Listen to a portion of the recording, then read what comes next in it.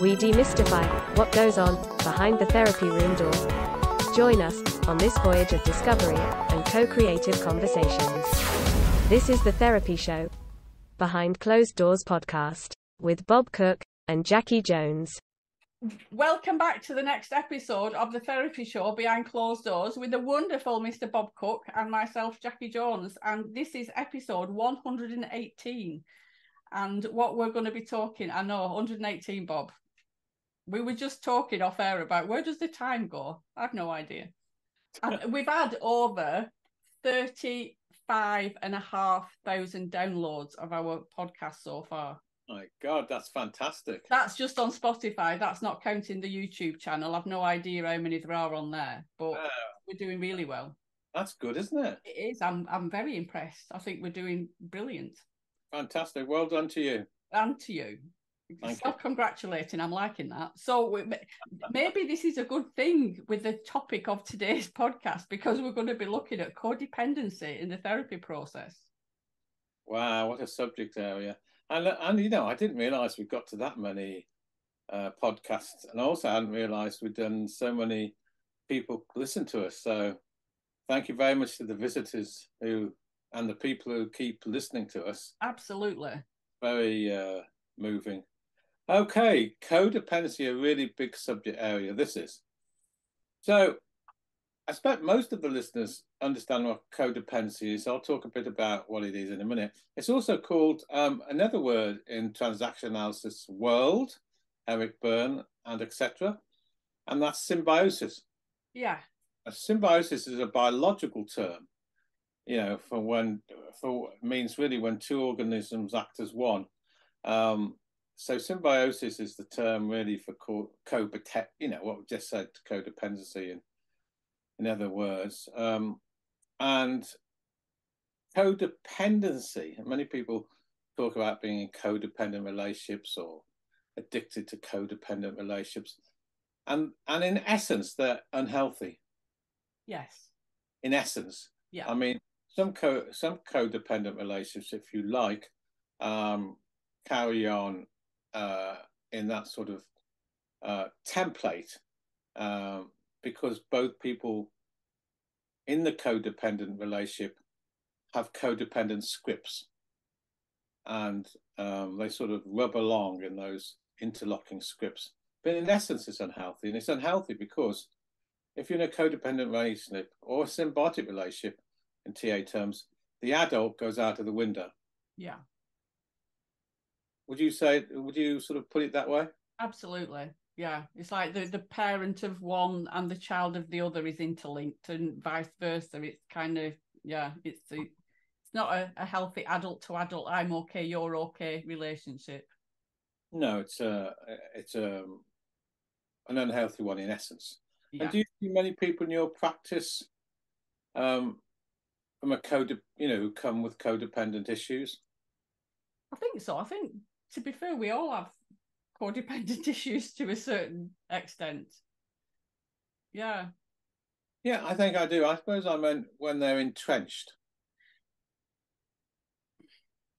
So, for example, when somebody uh, is coming from the child ego state, uh, a large degree of the time, so they pass ownership, if you ownership over to the person who is in the parent ego state, in yeah. terms of self definition, empowerment, action oriented processes.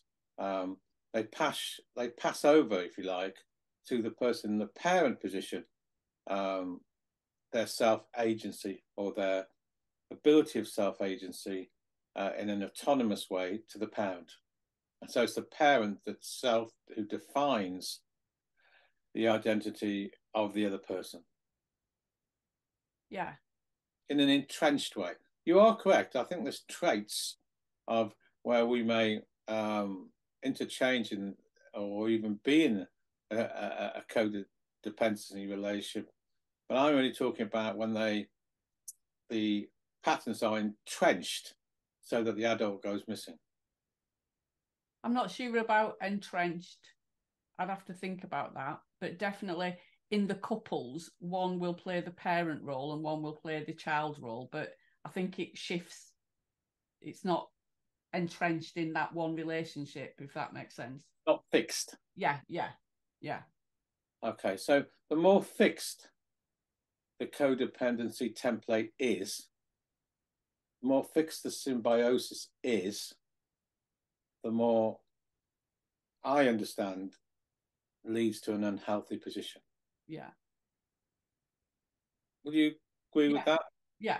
So when you're talking about codependency, are you talking about codependency between the therapist and the client, or the client no. coming with codependency outside of the therapy room? Oh, you might want to make that clear. I'm talking about where the client comes to see the therapist and their contract may well be about moving away from a codependent position okay. with their partner or codependent, you know, that that's the frame I'm talking about. Okay. Now, we can get on in a minute. We can get in a minute in the podcast to how codependency with the therapist might happen. So we can move there in a minute. I'm talking about when the client comes into the room yeah. and says, um, I feel I'm in a codependent relationship and I'd like to move away from it. So I've got a more sense of agency or autonomy. Yeah. Now, that scenario in my professional career was quite common. Yes. Yeah. I'm with you now. Yeah yeah with it with maybe a, a, an overbearing parent or or something yeah. like that or you know where a parent doesn't want the child to grow up and be independent and leave home and all that sort of stuff yeah absolutely and usually usually with that sort of personality profile you just talked about there they usually come from that place in a script process in other words it's the position they've taken psychologically with their significant caretakers. And when they move from the relationship with their significant caretakers, they unconsciously, and, and actually perhaps a bit consciously, but we'll say unconsciously, out of awareness, if you, if you like that word, they seek the replication of that codependent process that was the hallmark of the script with the initial caretakers. Yeah. So the repeating patterns in relationships. Yeah. Yeah. Yeah. Yeah. And you, and we'll go. I know we're going to get onto the therapy in a moment, but usually they then seek to play the same process out. Yeah. But we'll get there in a minute.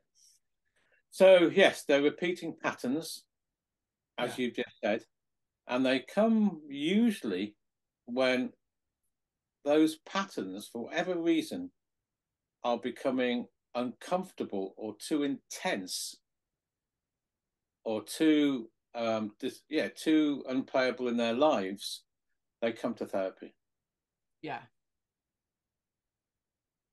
So the discomfort of the codependency has become so intense that they then come to therapy yeah because if they're playing in a, a, codependent relationship and i'm i'm presuming that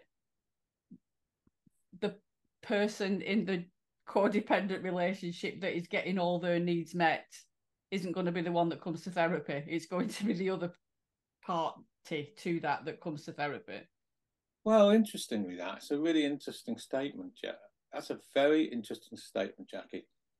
I would say, in my experience, yes, in the sense that it's often the person who feels defined, who feels a one down position. Yeah. Who feels um, undermined, who feels that they're always in that child position in transaction analysis. Yes, so I think you're correct. However, having said that, I'm agreeing with you. People often come, often, yeah, I think it's true, will come to therapy when they feel that they're in, or may they're in a relationship where they feel their partner never takes agency of any responsibility. Yeah. Feel that they have to do all the work, they have to take all the responsibility, they have to do everything, and that the other person is passing that on to them. Yeah. Yeah. So you've got two sides of it. Yes. I do think you're right, by the way, what you've just said, is that I think more people will tend to come when they're in the child position and feel defined, put down in a one. But then you do get people. Bob, just hang on, just hang on to that thought a minute. Somebody's at my door. I think it's a parcel. A parcel. Oh, she's disappeared now. Do I go and parent adult and child here? Uh, I think I'll stay with my adult, but she has disappeared. I don't think I've got any abandonment um, fears yet. Okay, she's back. Oh, good, Mike. I'm back. It's all right. I'll chop that bit out when we're, we're doing it. Don't worry. Oh, I was talking. They'll probably found it quite interesting. I was talking about my constant object is back. right, we'll carry on then. Yeah, so yes, I that's a very valid point. That yeah, we probably will see the other one as well if the other person is not taking ownership of certain things in the relationship, and one person is having to do everything. Yeah. Yeah. Oh, do you know, I've come here because my partner is so infantile. I'm having to do everything in the relationship. You know, I have to do this, this, this, this, this, this. And if I start to um, ask ask her to take or him to pay, take responsibilities, uh, they they aren't capable to do that. So I'm doing 90% of the work. And I need to change this and look at where this patterns come from. Yeah. Now that's the other side. Yes. Yeah. Yeah. Which, to be fair, I have probably seen both of those in the therapy room. I'd be astonished if you hadn't. Yeah. And in couples therapy, particularly. Yes. Yeah. Now, as I've said, and I said a moment ago, that the person who moves into the child position in transaction analysis terms will be repeating their script and playing it out. And also the person that monopolizes the parent position are usually, well, always 100%. I don't like 100%, but they're playing out their script, which they've uh, learned in their childhood of origin. So they often might be people who've taken care of their parents. Yeah. But they there's a term called parentification. It's an American term where the child has to grow up fast because they end up parenting an inadequate, significant caretaker. Yeah. So they end up um, taking this parent position. And the cost of that, of course, is that their child needs, their normal child needs don't get met because they've had to take care of the parent. Yeah. And unfortunately, they often carry that process into relationships they seek later. And the, the person who I've just described on the other side will look out, this is unconsciously, look out for that type of person to fill the to fulfill their own script. So you've got a symbiotic bond. Yes. Yeah. Because it's familiar to them. They they know how it works. It's it's kind of like ends negatively. It's it's never ends well, but it's familiar, so they know the process. They know how it feels, and they know how to be in that symbiotic relationship. Yes, that's absolutely. It provides them a sense of identity. Yeah. Sense of who they are, a sense of predictability, a sense of continuity. Yeah. But the problem comes is as they go on in life, their discomfort to the discomfort of not being able to be an adult, if you like, not being able to, from the child's side, take a sense of ownership about agency, spon- and responsibility, if you want to put it that way, or a sense of um, you know, fulfilling their self definition needs get acute, they want to move from that place. And from the parent position, um, all the things I've just said, it becomes more acute and they realize um, perhaps these patterns we're talking about here, and they want to get an adult to adult relationship, which is far more healthy. Yeah. So in the therapy room, what sort of things can we do? One of the things I'm thinking is boundary setting. a bit more. Just you know, for for us as therapists, if you know the person that comes in is trying to repeat that pattern of behaviour with us and and set us up to play the game, so to speak, that we need to be quite firm in our boundaries of I'm okay, you're okay, and not taking responsibility for the client or, you know, disempowering them or that sort of stuff. Absolutely. When they start to play that out with you, I 100% agree with that. One of the things, can I explain this? One of the things I always used to do when people came from either either side of the symbiosis would probably, after I've got the contract and as I've got the relationship quite strong, is do some educative therapy. Yeah. And teach them about codependency or symbiosis, like I'm doing here. Yeah. So that both sides, if it's couples therapy, I would always do this. But in individual therapy, I would teach them some transaction analysis because I think it's a really good model to explain how the child and parent ego states are interlocked together. Absolutely. And I would then help on either side of the symbiosis them help them be aware of the origins of the early symbiosis. Yeah. Help them understand how they've got to where they are today and what needs to happen for a different outcome. Yeah. That's with them. We'll get on to me in a minute. I mean, get on to the therapist bit in a minute. Yeah. With people, that's usually the path I take. That I take. Yeah. Yeah, because ultimately, for either side, really, it's about strengthening the adult ego state and getting us in that more than the parent and the child ego state. Yeah. And the trick is how do you get there? Yeah. That's what we're talking about. Slow and yeah. steady wins the race. uh, I'm a developmental therapist. I always have been. That means working with guess aggressively in the past. That means working with the developmental unmet needs. That means going back to the etiology of the symbiosis. Yeah. And that means looking at the symbiosis which has been played out between the original parent or caretaker figure with the younger self. Yeah. So when we go back there, if we look at the child part of the symbiosis, then we will start to see that usually they have a parent ego state, a significant caretaker, mother or father, which plays the role of defining them, not allowing them maybe to grow up. Yeah. Um, a sense of a parent that is maybe overwhelming or overbearing or any of those processes we've talked many about many times in podcasts. So we've got the defining, overbearing, overwhelming parent, and the the child or the you know the younger self I will say child in this case, could be teenager or whatever, um, isn't able to not only have their own relational needs met, but they often get stuck at a particular develop, developmental time in history, and they have gone through the necessary processes because the permissions haven't been given from the parent to actually grow up, if you like. Yeah. So they they seek out same type of relationship, and in a way they get frozen in time. Yeah.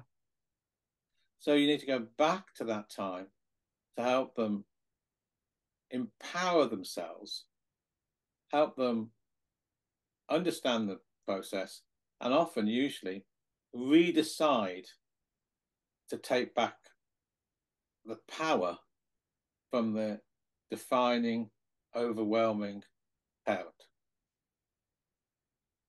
Yeah. Which there's so many different parts to that. It sounds quite simple when you're you saying it like that. you know what I mean? This yeah, is yeah. what we do. But that that's there's a lot of things involved in that. There's lots of layers of stuff. There's loads of layers and stuff. Yeah. One of them, and probably the most important, I think, is that the therapist is thinking developmentally. Because if they're not thinking developmentally, they won't even go back in time to the younger self they will be thinking about behavioral or cognitive resolution in the present. Yeah. Which is a completely different type of therapy. Yeah. I'm talking about the therapist that thinks developmentally, to looks back at the original relationship and sees how it's enacted out in their present life. So, first step is for the therapist to think developmentally.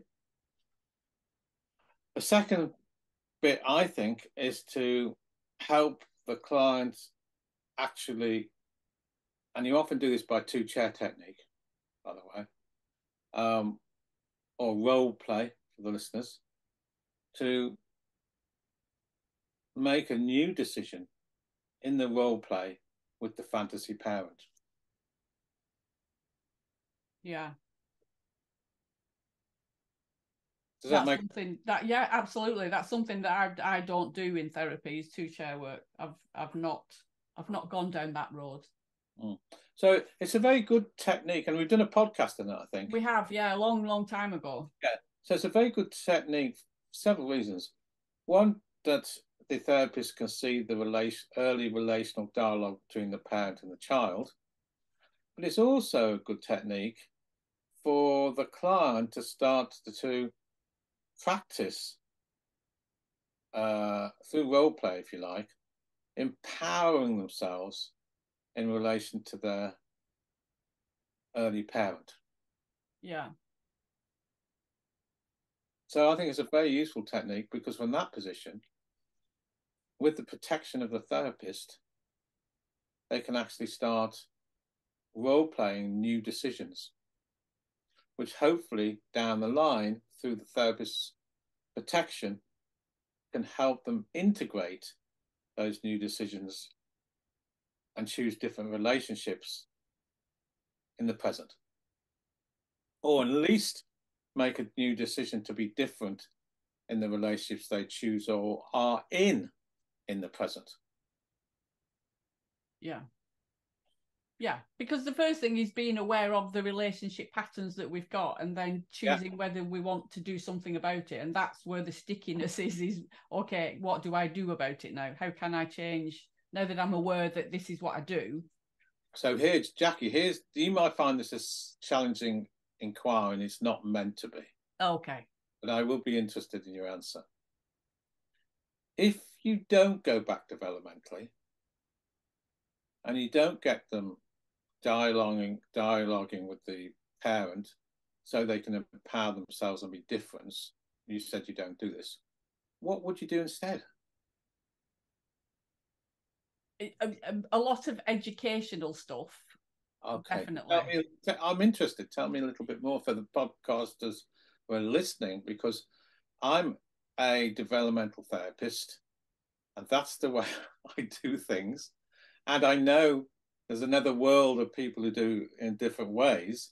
And I'm sure the podcast people listening to this might be interested in other ways of doing this. So, as I am, by the way. So, I'd be interested. I would look at, you know, talking about and doing work around what a healthy relationship is.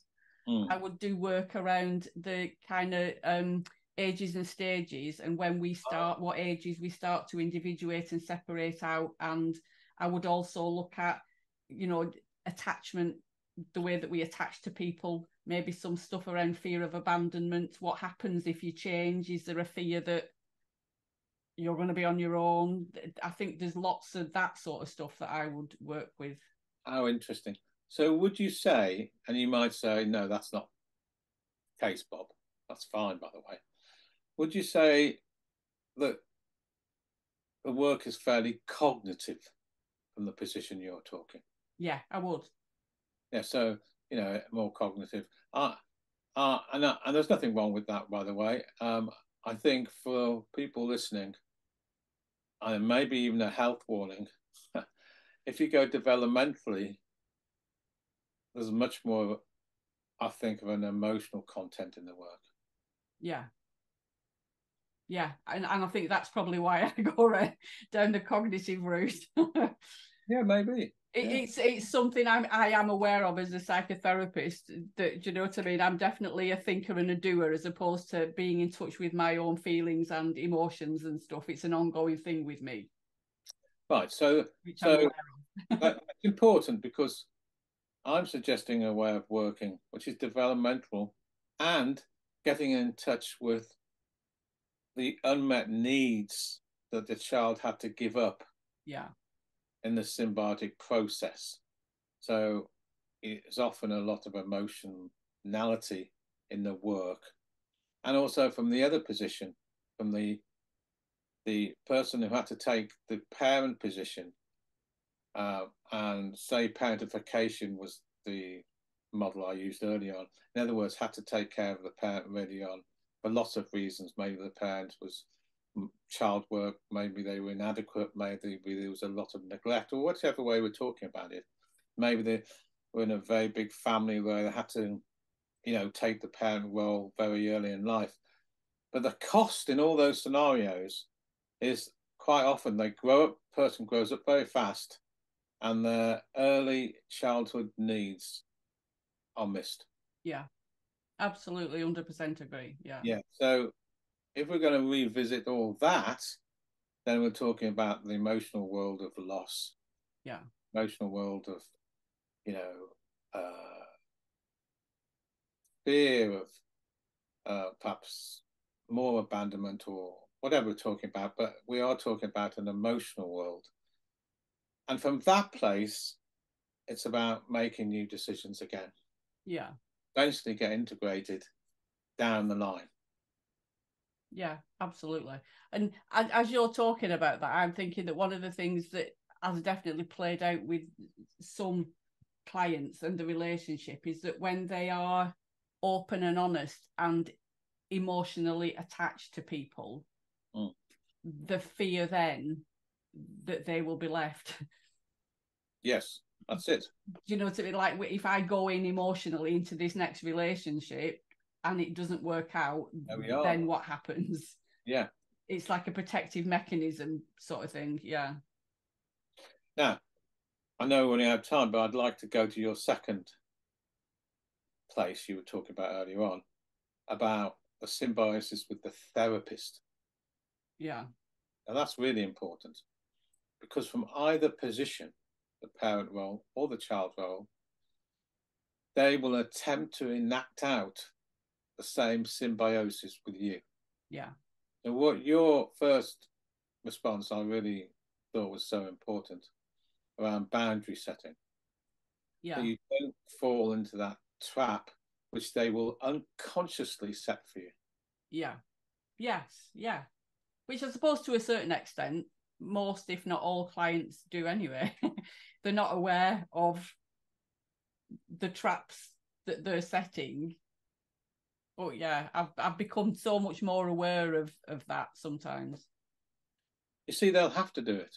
Yeah. And I'll tell you what I mean by have to do it. I don't mean from conscious choice. I mean from unconscious relational patterns which start way back in the past in relation to their unmet needs. And also, again, unconsciously, so they can make you predictable, sense of continuity, and fits into their sy- symbiotic relational framework. Yeah. Now, if they don't succeed with that, then they will try again, try again. And if they still don't succeed in that, then therapy might begin. Yeah. You know, Yeah. a different phase of therapy will begin. yeah yeah a deeper level yeah yeah because you know i think there's something as well about again you know building that adult ego state but helping or supporting the client to start to trust themselves Mm. in relationships that they are enough do you know what i mean and and that sort of thing making them more resilient to things Mm. yeah definitely So you only see people through your door who want to change from either position. yes So if they feel that they can continue in a way uh, or enact out the same script position which they had from their history, and that's enough for them, you won't see them. Yeah. That's okay in my book. They don't have to get to a place of high discomfort uh, from either side. But the people you do see will be when the intense codependency or symbiosis is too high, if you like, that they come through your door. Yeah. Yeah, because it it's not when you know when you're getting into that relationship, you might think this is really good. Do you know what Yeah. I mean? But Yeah.